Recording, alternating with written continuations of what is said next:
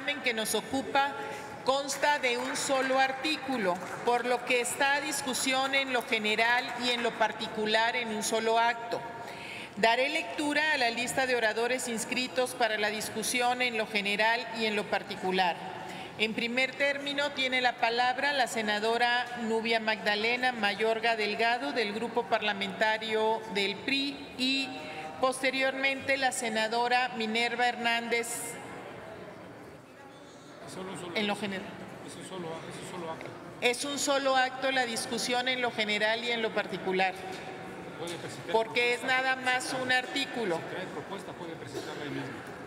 Si trae alguna propuesta, puede presentarla en ese momento. Y la senadora Minerva Hernández Ramos, del Grupo Parlamentario del Partido Acción Nacional. Le pedimos a la senadora Nubia Mayorga Delgado que hará una propuesta de modificación al artículo 20 de la ley.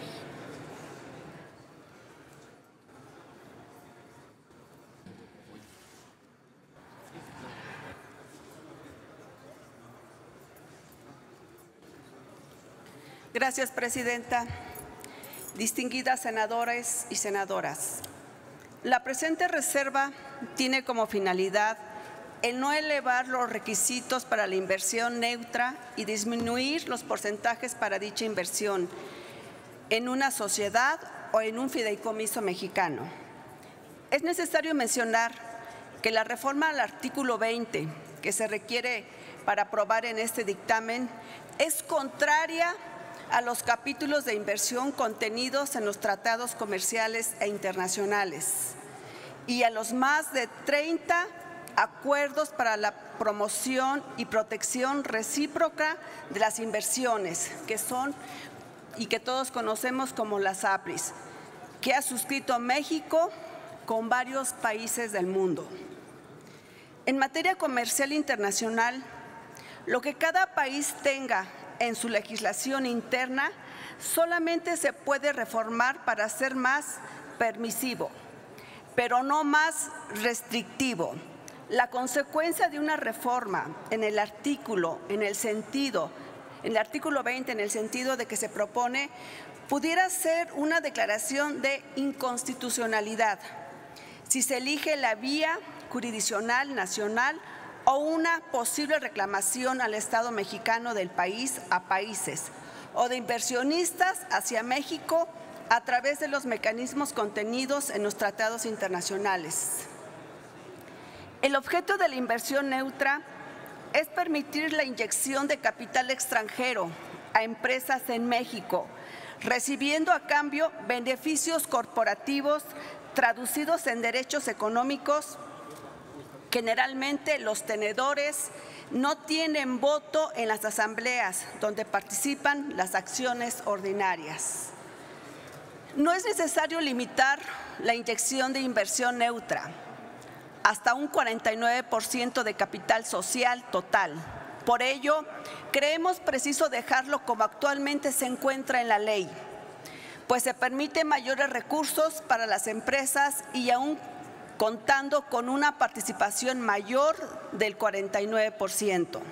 No generan derechos de voto en las asambleas de la sociedad.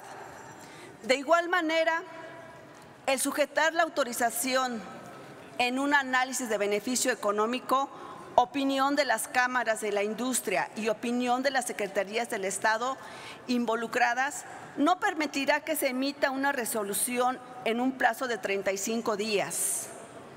Por otra parte, establecer la figura de la negativa ficta cuando actualmente hay una afirmativa ficta no generaría ningún incentivo para que las autoridades lleven a cabo un análisis dentro de los plazos legales, lo que implicaría entorpecer los flujos de capital hacia las empresas privadas.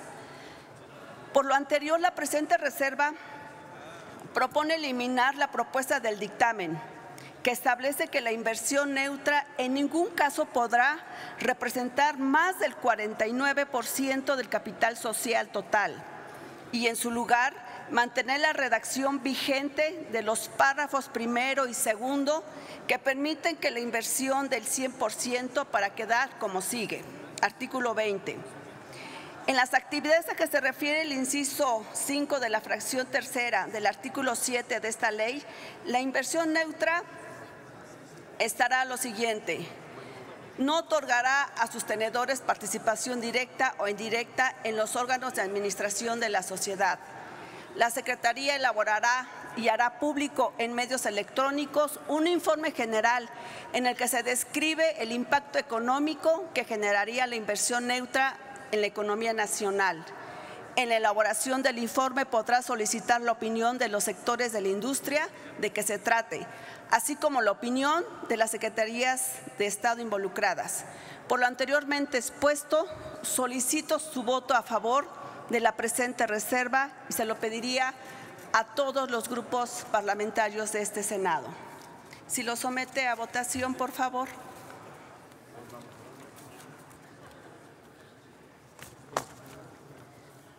Solicito a la Secretaría de Lectura la propuesta de reserva de la senadora Mayorga.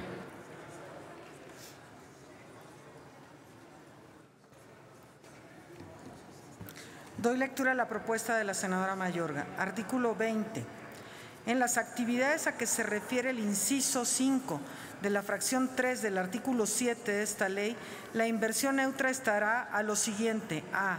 No otorgará a sus tenedores participación directa o indirecta en los órganos de administración de la sociedad. B la Secretaría elaborará y hará público en medios electrónicos un informe general en el que describe el impacto económico que generaría la inversión neutra en la economía nacional. En la elaboración del informe podrá solicitar la opinión de los sectores de la industria de que se trate, así como la opinión de las secretarías de Estado involucradas. Es cuanto, presidente. Consulte la Secretaría si se admite a discusión la propuesta de la senadora Mayorga en votación económica.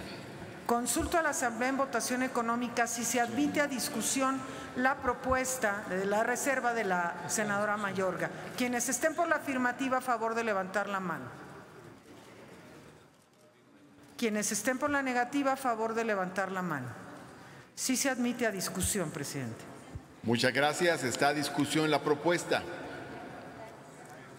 Pregunto si hay oradoras u oradores. De no haberlos, senadora Minerva Hernández, ¿en qué sentido?